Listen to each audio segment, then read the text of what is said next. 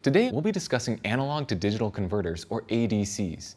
ADCs are used in many ways, but particularly in sensing applications.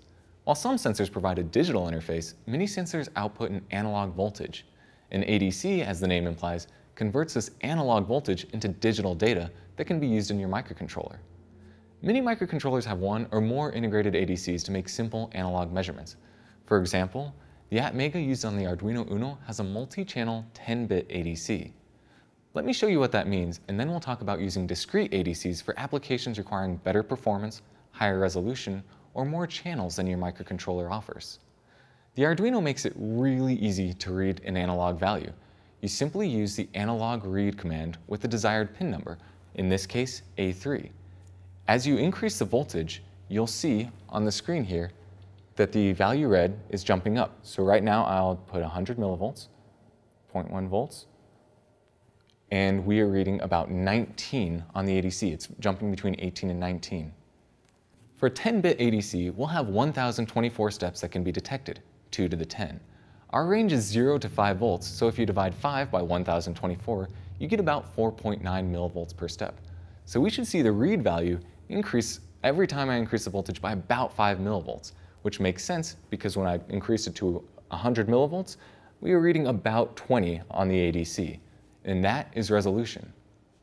This Arduino has six analog inputs, but they all share, or are muxed, to the single ADC. This means that only one input at a time can be used, but you can sequence through the inputs to measure the value on each.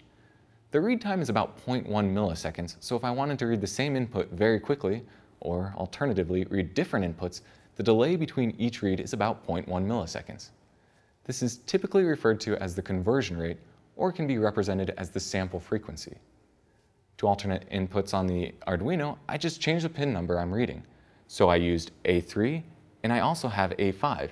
And as you're looking at the screen, you'll see it's going between 0, which A5 is connected to ground, and 21, which is connected to 100 millivolts.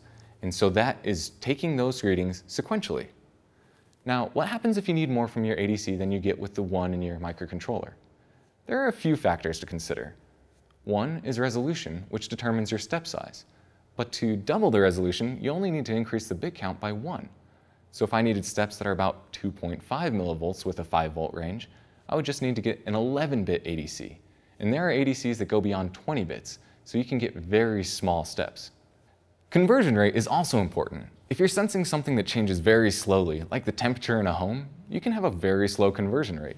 If, on the other hand, you need to rapidly detect signal changes like detecting a short circuit, then you'll probably need a higher speed ADC. There are also different types of ADCs, which would take too long to cover here, but high resolution sigma delta ADCs and high speed successive approximation ADCs are two of the most popular due to the balance they offer between performance and cost. Many discrete ADC ICs are available in modular form to accommodate prototyping or use with platforms like the Arduino. So for a relatively low cost, you can experiment with some of these different ADCs and start to understand the benefits and use cases for each.